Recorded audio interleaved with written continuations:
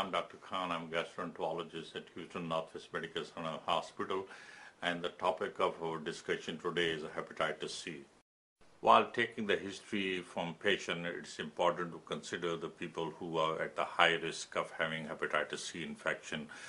Uh, people who received blood transfusion or blood product before 1987, they have a 90% chance of contacting hepatitis C virus. Uh, people with a drug abuse, almost 80% chance that, that, they might have contacted hepatitis C virus. Patient on chronic uh, kidney dialysis, 10% chance. Uh, infant born to uh, infected mother, they have about 6% chance. Uh, people who have tattoos, body piercing, cocaine use, they have a 4% chance. Uh, hepatitis C virus can also be transmitted sexually in 1 to 2% cases. During history taking process, if it is found that patient has been exposed to hepatitis C virus infection, 85% of patient out of that number can develop chronic uh, hepatitis and almost 2 to 30% of patients can develop cirrhosis of liver. Uh, these patients can uh, have a decompensated liver with all the signs and symptoms of cirrhosis. 4% patient can develop hepatoma. Uh, majority of these patients remain asymptomatic, uh, but after uh, 20 years, 15 years, they can start having signs and symptoms related with the cirrhosis of liver, which include generalized weakness, uh, tiredness, and malnutrition. Uh, they can be anemic because of loss of blood. Uh, they can have elevated liver function tests and complaining of itching if they are jaundiced. Uh, they can develop ascites, that means distension of the abdomen with a peritoneal fluid. Uh, the, they can present with the upper GI bleeding. Uh, that means they come to emergency room with the vomiting uh, blood or passing black tarry stool. They can develop spider angioma, like a Kaposi type of lesion on the chest and on the back. Uh, they can present with a redness in their palm which we call as a palmar erythema. Once we suspect that the patient has been at a high risk, uh, performing initial screening testing like a ALT, which is a liver enzyme, and anti-HBC, which is a blood test, uh, can give us a guidance that the patient has uh, been exposed and has contracted hepatitis C viral infection. Um, 50% of these people who have uh, hepatitis C antibody positive, they tend to have a normal liver function test. Uh, confirmation is required in those patients. Uh, the blood is sent for the RNA to confirm the diagnosis. Then the viral load uh, also is done, which is another blood test to see how much viral infection they carry in their blood.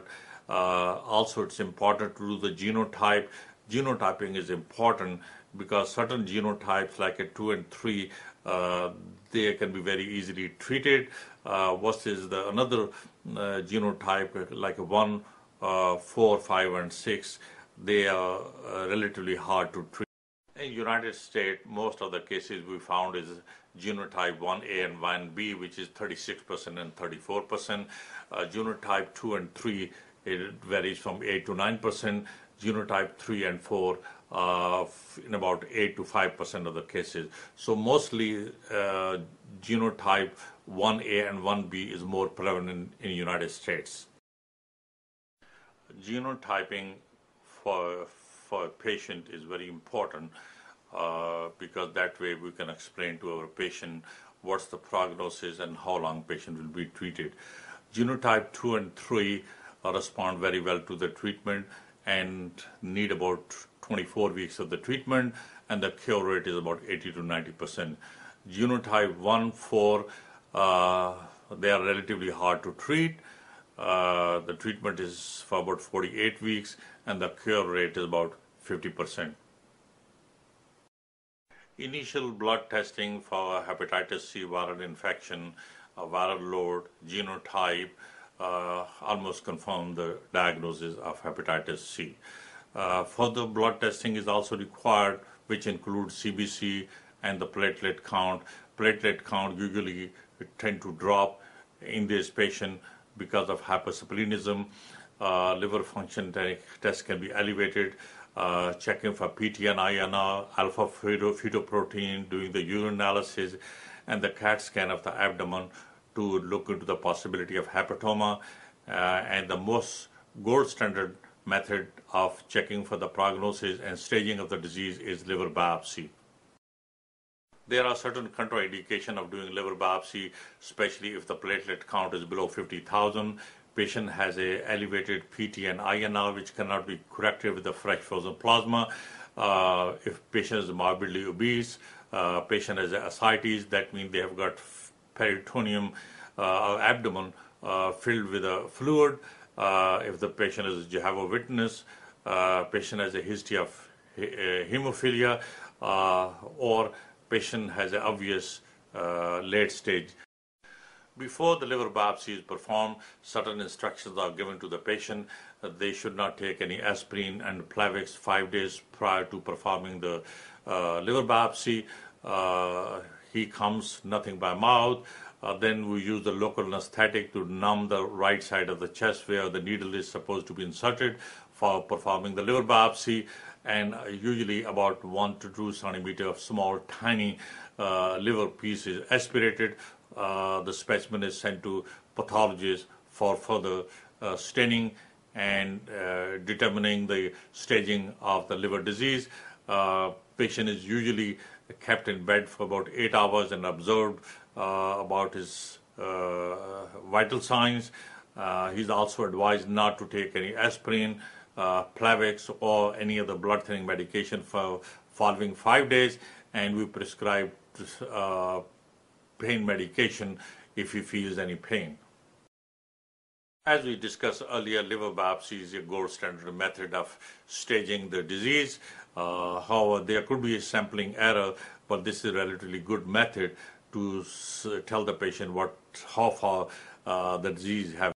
After the patient has been confirmed uh, having contracted hepatitis C viral infection, uh, we spend time with the patient, explain them about the side effects of medication.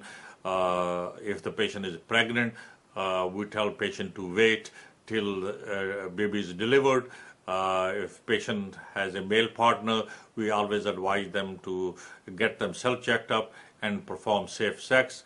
Uh, typically, side effect could be like a flu-like symptom, generalized aches and pains, lack of sleep. Uh, they can become anemic. Uh, sometimes the patient can develop depression. Uh, they can complain of joint aches and pains, and they are relatively more prone to other infections. Presently, the treatment for hepatitis C viral infection is standardized. We are using peg interferon and ribavirin combination. For patient with a genotype 2 and 3, it's a 24 weeks of the treatment. And the, as we discussed earlier, uh, the prognosis and the, and the cure rate is about 80 to 90 percent. However, genotype 1A and 1B, which is relatively more common in the United States, the cure rate is about 50 percent and the treatment is for about 48 weeks. Uh, a lot of new work has been done. Uh, presently, we are involved with a clinical trial in which we are using new agents, and we hope that there will be relatively better treatment available, and especially uh, in cases uh, of genotype 1 A and B, which are more prevalent in the United States. And as we discussed earlier, the cure rate is about 50 percent.